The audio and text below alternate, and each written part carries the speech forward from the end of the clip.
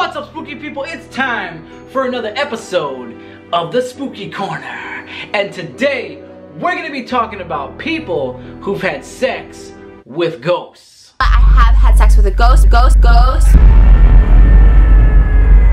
Believe it or not, there are actually people out there who claim that they've either had sex or they are currently having sex with ghosts. I know, as crazy as that sounds, but it's true. I've been dying to make this video for you for a minute now. Trust me, you are in for a treat. Things are about to get real freaky right now. So I first came across this whole crazy ghost sex phenomenon when I stumbled upon this video of this woman who claims that she's given up men altogether to have sex exclusively with ghosts. She says that this all started a couple of years back when she was with her fiance at the time. And her fiance would often go on like these business trips that would last a week or two weeks, maybe more. And while she was alone in the house, she would often feel this presence around her. But this presence didn't scare her. She wasn't afraid. You weren't scared by It it. never felt scary. It felt comforting, if anything. Her and his presence must have been flirting and they must have been building a relationship as time went on. Even when it came up behind you and you could feel its breath on your neck, that still didn't freak you out. Not at all. No. Listen, the ghost saw an opportunity and he was obviously getting ready to slide in there. He knew what it was. He knew what time it was. Eventually, things got hot and heavy in their relationship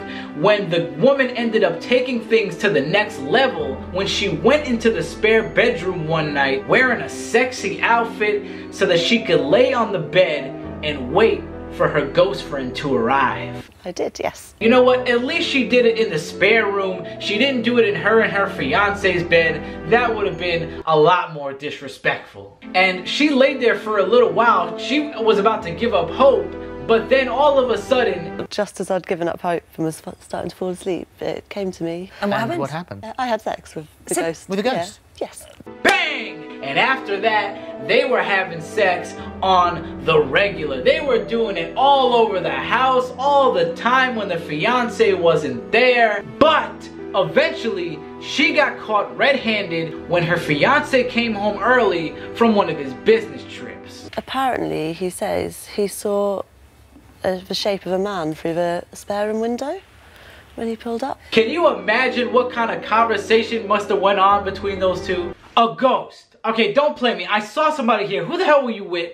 Is he in the closet? No, not like is he gay, like like is he in our closet? It was a ghost. Alright, you know what? Later, ho. After she got caught cheating, her and her fiance split up, and I'm sure she was not upset about that at all. I think that's exactly what she wanted because then she renounced any and all men. She stopped having any kind of sexual relationships with living men, and she only laid down with the ghosts after that. Is that right? It is. Yeah, it's. I would never. I've got no interest in men now. What's even crazier is, as of the date that she was on that show, she had had sex with 15 different ghosts. How the hell does that even happen? How do you have access to that many spirits? Like, what is she doing? Does she have like the, the Danny Phantom ghost portal in her room, just letting them all through, letting them hit? And how do you even tell the difference from one spirit to the other one if you can't see them? Like, what are their size differences? You know, one are some bigger? Do some last longer in the bed than other ones? She claims that she can tell the difference though. So you can just feel different presences, So it's different not, it's not, it's not the same one coming back 20 times. No. She also goes on to say that she eventually wants ghost babies. Would you like to become pregnant with could. it? Yeah. How that's supposed to happen, I don't know. Are these spirits supposed to like ejaculate some kind of some kind of ectoplasm inside of her? I don't think that's gonna get anybody pregnant. Obviously, after I watched this clip, I was just like left with so many questions. Like, is this even real? Did they pay this lady to come on the show and say this so they can get a good segment and they can get viewers? Does she really believe this? Was she hallucinating? Did she really have sex with a ghost? Like, I didn't know what to think, but I wanted to know if other people have had the same experience. So I looked it up, I did some research, and obviously, like I said in the beginning, there are multiple people who've claimed that they have had the same thing happen to them. Take this clip, for example, from 1988. So this is way back in the day. This was on the Oprah Winfrey Show where this old woman came on and talked about her experience. She basically said the same thing as the first lady, that she was feeling a presence in her house, although she was not really uh, comfortable with it. And one night she woke up in the middle of the night and next thing she knows, I was in the midst of a very intensive sexual experience. I saw nothing. Mm-hmm. I, th- th- there, there was nothing that I could put my hand on. What got me though was even a bunch of celebrities have come out over the years and have talked about their experiences. Pop star Kesha, probably one of the most famous cases of this because she wrote a song about it. Kesha came out and talked openly many times about the time that she went to the bone zone with a ghost. I did go to the bone zone with a ghost. Old school R&B and pop star Bobby Brown talked about the time that he was apparently raped by a female ghost one night. I woke up and yeah, a ghost.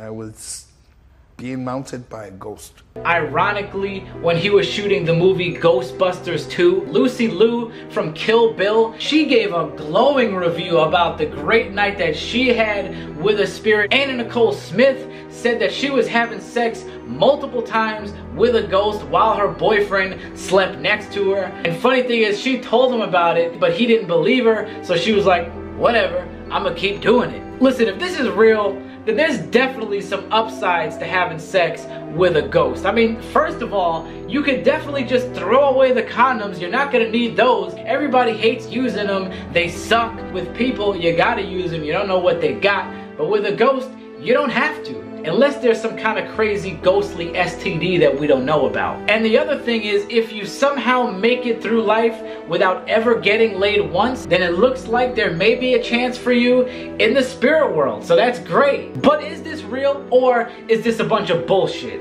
Well, I got three different theories on what could actually be going on. Theory number one is that this could actually be a ghost. That spirits have the ability to have sex with people. If you believe in ghosts and the paranormal, then this is not a hard theory to believe. Number two, and this is a lot more scientific, and this is one that a lot more people will probably point to as the actual as the actual reason, and that this is nothing more than sleep paralysis. I've talked about sleep paralysis a couple of different times on my channel. But for those of you who don't know what it is, sleep paralysis is basically when people wake up in the middle of the night during a deep sleep and when they wake up, they cannot move their body. They can see things, they can hear things, but they can't move their body. And while they're in this state, they are obviously in a great deal of fear. And since they have this adrenaline and this fear going off in their brain, then they say that people may start to hallucinate and see things that aren't there, hear things that aren't there,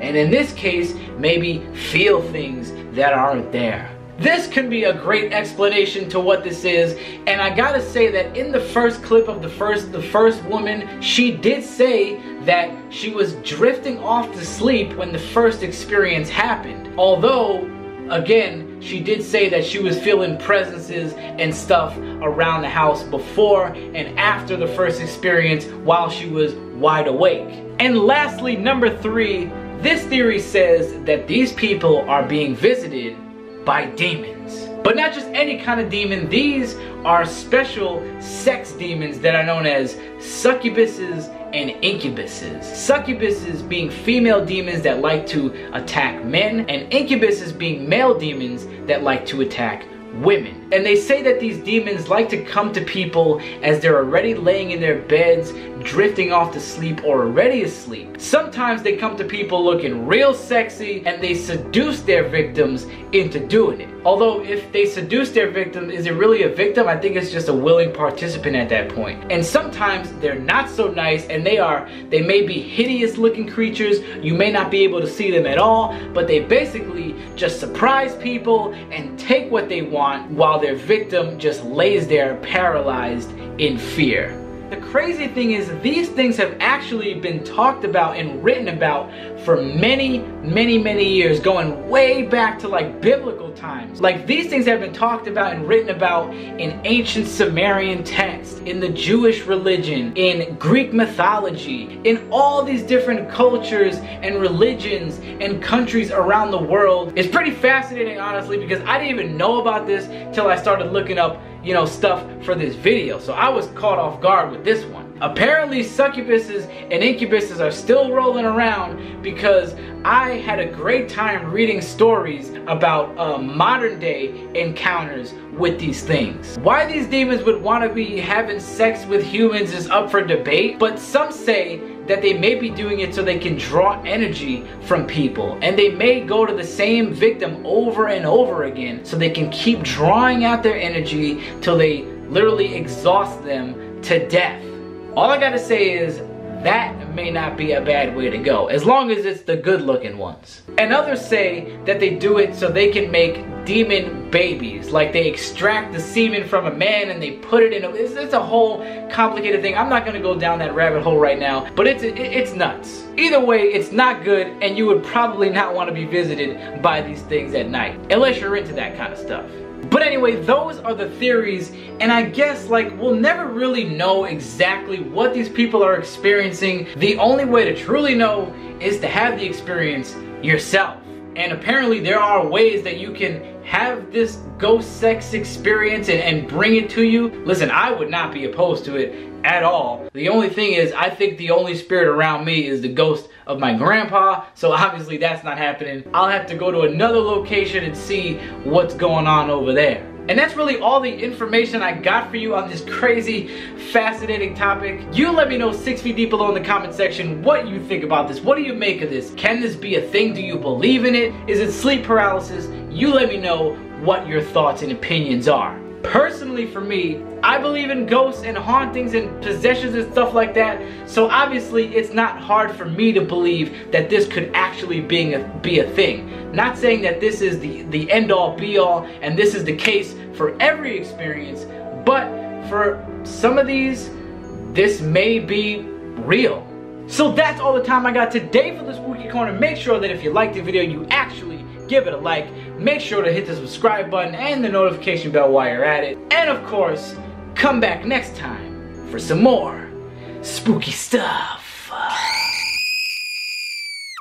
Oh man, I can't wait for summer to be over for real. Like I am sweating my balls off right now. It's 90 degrees outside and it's probably like 140 in this room. You can probably see like the sweat in my hair while I'm shooting this video. It is so hot. But I just want to take this time, if you've made it this far, what up?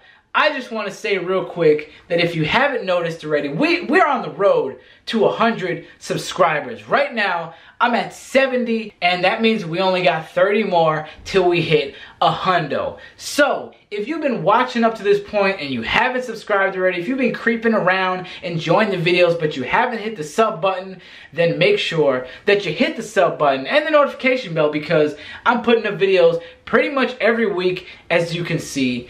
And Halloween is right around the motherfucking corner. Halloween is right around the corner, baby. So that means that we're to be doing some great stuff for the Halloween season that you're not want to miss out on. So let's get to 100 and let's get ready for Halloween season. I'll see you guys in the next video. And if you've been, if you're already subscribed to and you've been watching for this long, thank you. I hope you've been enjoying this stuff. And just let me know if you want to see anything. Let me know if you want to see any type of video.